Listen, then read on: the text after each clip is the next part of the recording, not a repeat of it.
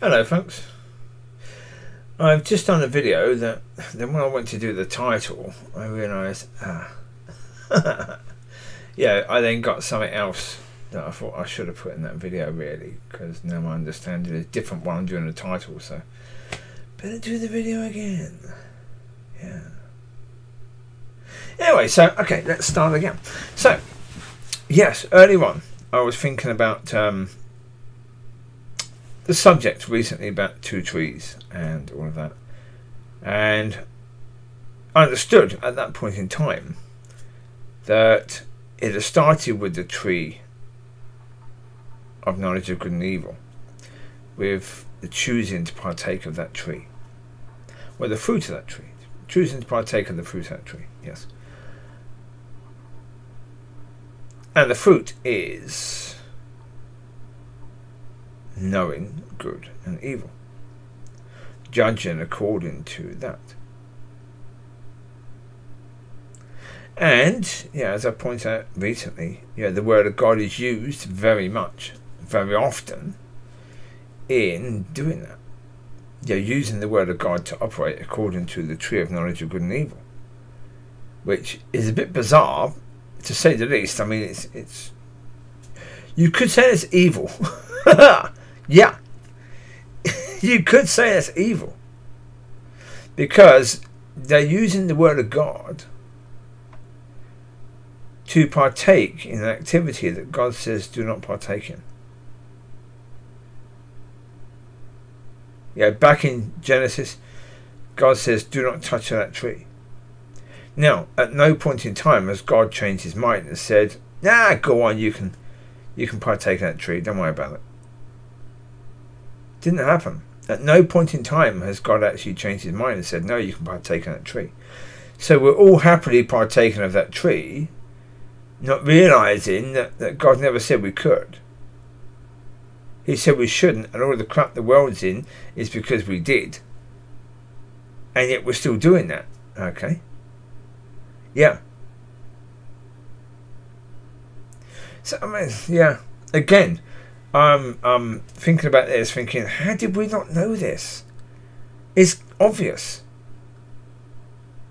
Like the video I did the other day, talking about the fact that the trees are still on earth the tree of life and the tree of knowledge of good and evil the Eden is still, you know, God hid it, but it's still on earth.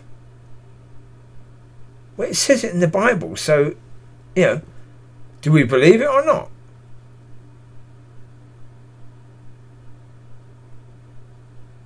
Yeah, so, yeah, anyway, the point of this one is, is it started with that, it's going to end with people choosing to partake of the fruit of the tree of life and to no longer partake of the fruit of the tree of knowledge of good and evil. Yeah. Well, because this is the point.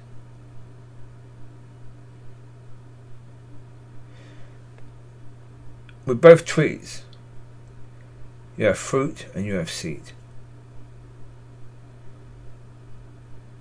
With the tree of life, its fruit and seed is life.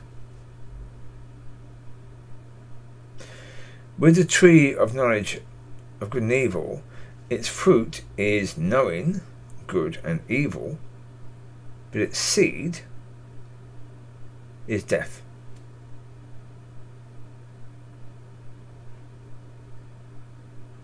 And so, whenever you partake in its fruit, and start pushing that out, you are sowing death.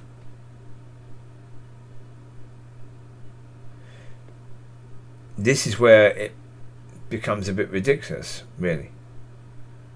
And this is where the stupidity of church as it is, or has been, comes quite ridiculous.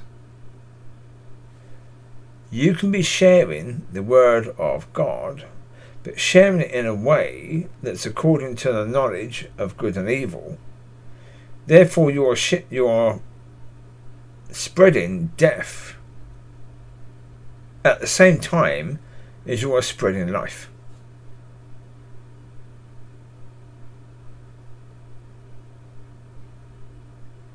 We've got to realize our job is not to spread death.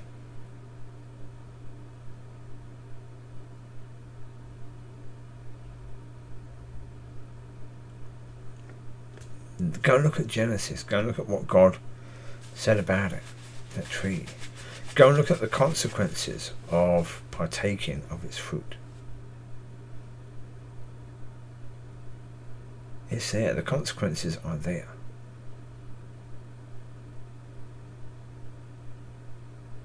But again, I think it's it's wonderful in the fact. Look, the past is the past. It is. When it comes down to it, you know, if if we are not doing things according to that tree, we're not pointing out the crap of the past. We're not pointing out the wrongs and the rights, and because that's knowledge of good and evil. So we're not going to do that. But the fact that there is life ahead, the fact that we can still choose to partake of the tree of life, and we can stop partaking as a tree of knowledge of good and evil. And that's wonderful. Absolutely wonderful. So there you go. We have a positive ending ahead of us. So we are in incredibly wonderful, beautiful, fantastic times. Yeah. So, have a fantastic week. Be blessed, be a blessing, and enjoy. And start learning how to be of His nature because, yeah, that's what we need. You take care. God bless. I'll speak to you soon. Bye bye.